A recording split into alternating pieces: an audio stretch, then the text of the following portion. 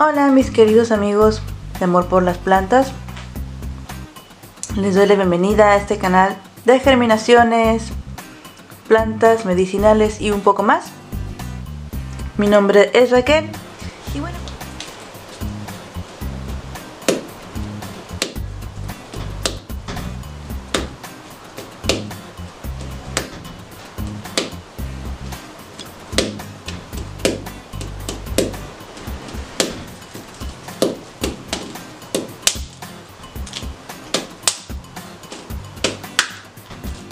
Y ahora sí, entre todo lo que está quebrado, hay que ver qué ocurrió.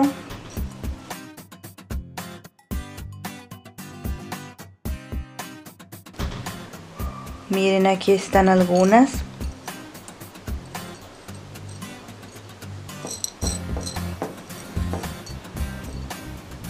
Y sí salieron completas. Aquí están las semillas.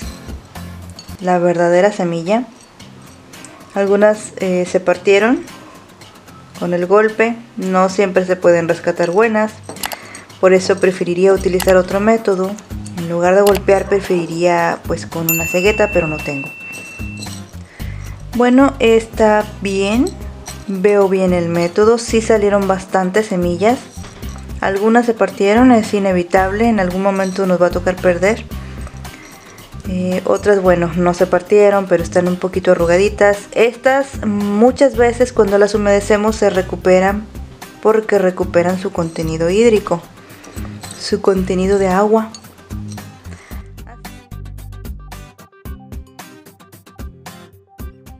Bueno, lo siguiente que vamos a hacer es dejar nuestras semillas que logramos sacar remojando durante toda la noche para que, bueno, pues recuperen algo de su contenido hídrico que han perdido durante los meses que han estado dentro de las semillas y nada.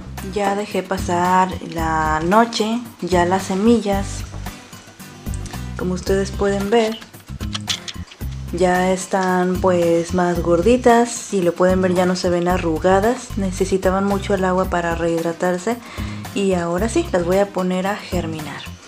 Estas semillas, en mi experiencia, requieren eh, estratificarse.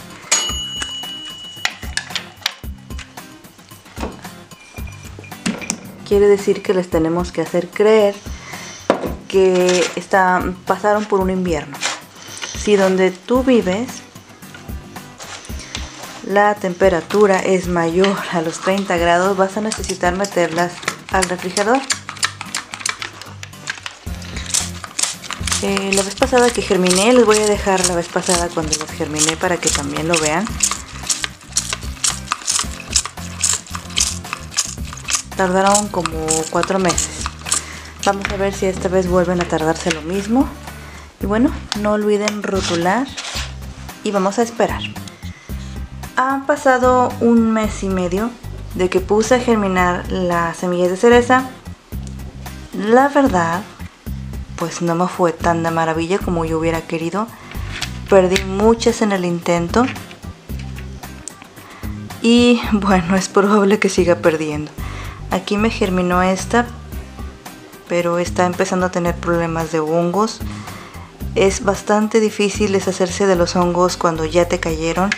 Uno de los consejos que les puedo dar, que me sirvió mucho, pero me di cuenta al final, fue ponerle de estas gotitas que son desinfectantes, que es eh, plata coloidal. Eso funciona muy bien, pero bueno, yo desgraciadamente me di cuenta ya tarde, así que estas que tengo pues las voy a plantar. Y voy a poner dos por maceta porque algunas están débiles y no sé cómo me vaya a ir. La maceta la voy a seguir dejando en el refrigerador porque le gusta estar ahí. Aunque soy sincera, no creo que vayan a salir muy bien. A esta ya se le hizo hongo, pero bueno. Le seguiré poniendo plata coloidal. Hay otro tipo de plata coloidal. Esta sí tiene algo de partículas de plata. Y las otras que le comento pues no, no tienen. Es más que los iones.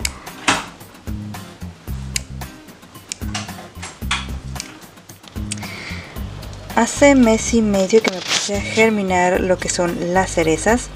Y bueno, no voy a mentirles, la verdad es que, bueno, no me ha ido demasiado bien. Eran bastantes semillas y por ahora son estas dos las que han dado de sí.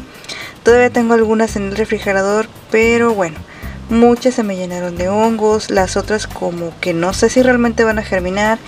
Estas también se ven hongueadas y estas son las dos únicas que se ven en buen estado. Yo espero que sigan creciendo, pero por ahora les muestro cómo es cuando tu semilla de cereza ya germinó.